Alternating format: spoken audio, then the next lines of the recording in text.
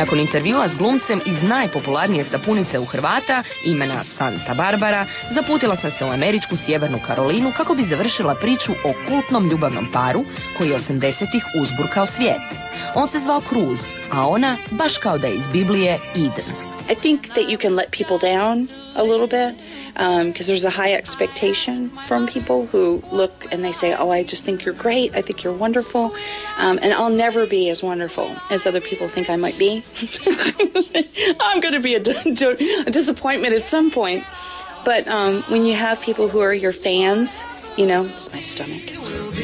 Slava Novac i Emi, ljubimići Santa Barbare, nisu udarili u glavu, već suprotno. Sama je odgovarala na pisma obožavatelja. At one point I had was almost two years behind in my mail because I was trying to answer them all.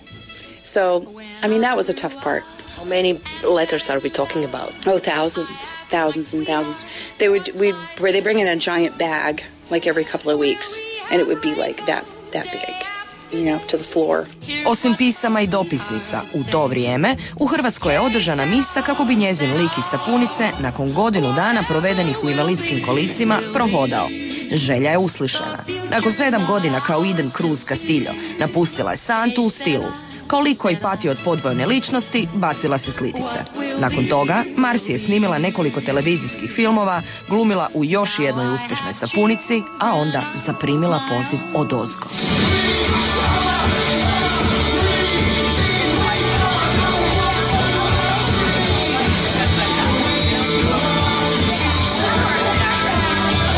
All of a sudden it was like here was this career in in television and then here was this other thing like with these kids and doing these silly little things that people go oh yeah that's okay that you do that and it was like instead of love over here you know all of a sudden it just you know the scales tipped and um, and I wanted to do this stuff for God and for kids and for their families so much more than I wanted to do television.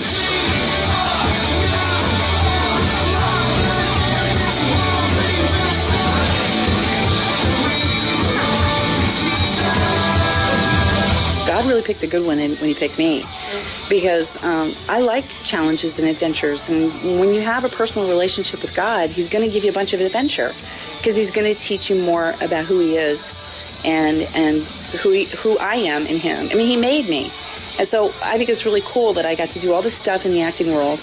Um, and I got to uh, learn a lot of different great stuff, but now I get to do it and I get to do it for kids. I danas gaji dugu plavu kosu. If I cut my hair, I'm going to cut it like this. Like this? Like this. A iz očiju je viri dobrota poput one u Marije Tereze. Marcy Walker, Udana Smith, već nekoliko godina radi u evangelističkoj župi gdje se mise održavaju uz ritmove moderne glazbe kao direktorica dječje crkve. Osim o crkvi, brine se i o nedjeljnim dječjim nastupima. We have some visitors here from a totally different country. Have you ever heard of the country of Croatia? Yeah.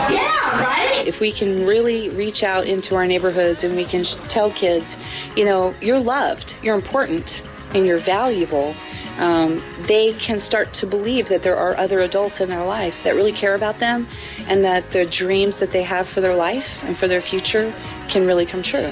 Iden je sama osmislila izgled dječjeg odjela crkve koja danas broji više od 500 djece. Were you Christian from the beginning? No, I, I became a Christian when I was an adult. Um, my son was actually almost, I guess he would have been about six or seven years old. So I had a whole other life where I didn't have anything to do with God. Uz Boga, Mars je pronašla sreću tek u četvrtom braku. Tri puta se razvodila, jednog od bivših zatekla je s drugom, a ove godine proslavila je devetu godišnjicu sa suprugom Dagom Smithom. You're divorced three times. What yeah. have you learned from divorces? That's a good question. Um, well, you know what? I, I had what I called a bad picker, which was that the men that I was in relationship with and, I, and that I chose, I chose for my own reasons. But I think that um, the thing I learned was that any relationship that doesn't have two people who are equal in terms of how they view things um, and how um, they're in the Bible, and I, not to be all preachy with you, but in the Bible it calls them equally yoked, right? It's like two horses that run together, right? If you have one in front of the other, doesn't matter if it's the man or the woman, it's going to be tough to be a team. And if anything, I've learned that marriage is a team. So you're 47. How do you feel? I feel, I feel, I feel like I'm getting old. You know what happens when you? I said nobody told me about 40.